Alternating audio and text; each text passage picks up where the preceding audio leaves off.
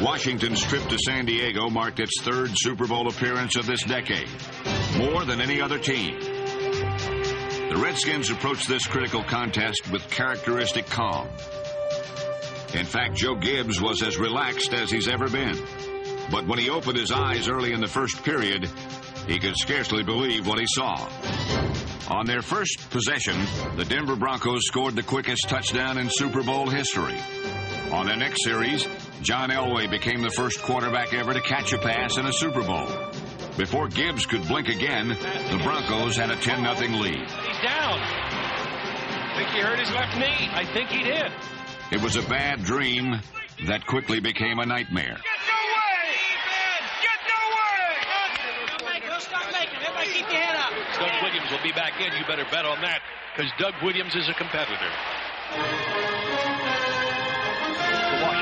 The Washington Redskins offense is back on the football field, and so is number 17, Doug Williams.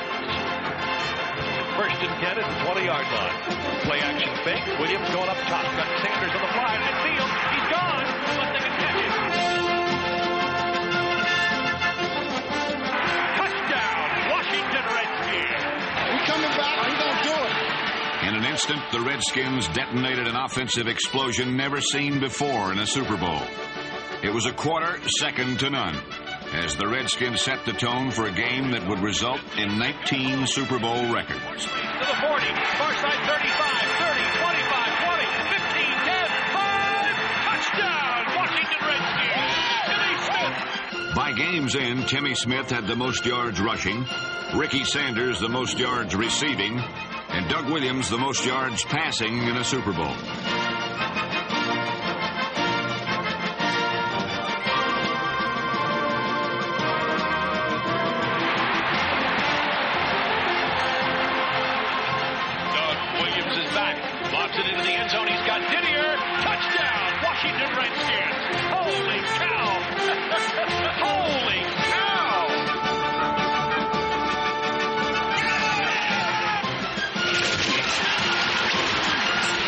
Overshadowed by the offensive firepower was a defense that limited the Broncos to 59 second half yards, sacked the elusive John Elway five times, and intercepted three passes. Let's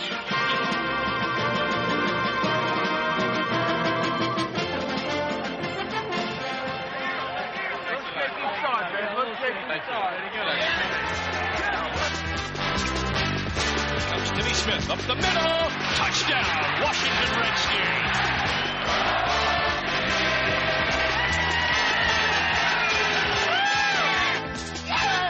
By winning 42 to 10, the Washington Redskins climbed to the pinnacle of professional football. Williams was named the game's most valuable player, and the Redskins were crowned world champions, a team second to none. Redskins didn't simply enter the history book Sunday night, they rewrote them.